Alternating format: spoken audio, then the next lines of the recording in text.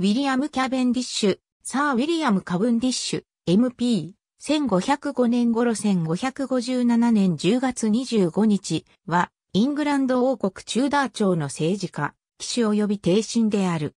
ウィリアムは宮廷を助けて、巨万の富を築き、他、修道院解散では、トマス・クロムウェルの修道院巡察官の一人となった。1547年にサースク選出の国会議員となった。1547年にハードウィックのベスコとエリザベス・ハードウィックと再婚して、1552年、または1553年から夫婦でチャッツワース、ハウスの建設を始めるが、その完成はウィリアムの死後になった。次男のウィリアムは初代デボンシャー伯爵となったが、この爵位は財政難の国王ジェームズ一世から購入して得たものである。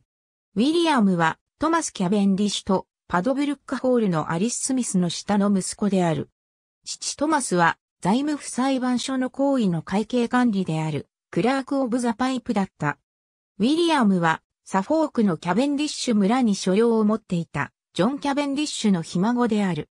ジョンはデボンシャー公爵家と入荷する公爵家に継承されたキャベンディッシュという仮名の祖となった人物である。ウィリアムはトマス・クロムウェルの修道院巡察官の一人となった。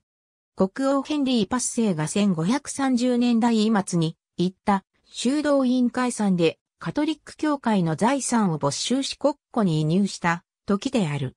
これは結果としてウィリアムの財政通りとして財務省に在職するという出世につながり、ウィリアムの財産につながった。ウィリアムは修道院解散の際に余計な富を不当に蓄財していると非難された。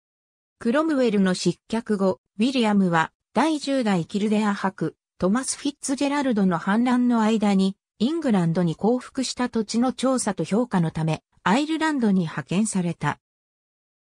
キャベンディッシュ家によって建てられたチャッツワース・ハウス・ウィリアムは、ヘンリー・パッセイの3番目のオーヒジェン・シーモアの兄弟であるエドワードとトマスのシーモア兄弟と、さらに彼らを通じて、ジェーン・グレーの一族ともつながっていたが、一方でまた、メアリー王女に、好意の印を送るようにも配慮していた。ウィリアムは1546年から1553年にかけてトレジャー・オブ・ザ・チャンバーに任命されたが、会計検査後、巨額横領の角で告発された。ウィリアムの死だけが家族を不名誉から救った。メアリー一世の治世中にトマス・ウルジー枢機卿に好意的な伝記が初めて出版された。それはヘンリー・パッセイにウルジーの死の法を伝えた最側近の補佐官の視点から書かれたものだった。何世紀にもわたりウィリアムがその著者だと言われていたが、現在歴史家はウィリアムの兄ジョージ・キャベンディッシュの作であるとしている。ウィリアム・キャベンディッシュは3人の妻との間に、計16人の子を設けた。最初の妻は、マーガレット・ボストックで、5子を設けたが3人の娘しか生き残らなかった。1542年にエリザベス・パーカーと再婚した。3子を設けたがすべて溶接した。1546年、エリザベスは娘を死産した後に亡くなった。1547年にハードウィックのベスことエリザベス・ハードウィックと3度目の結婚をした。ウィリアムはサフォークにおける資産を売却し、ベスの故郷であるダービーシャーに居を移した。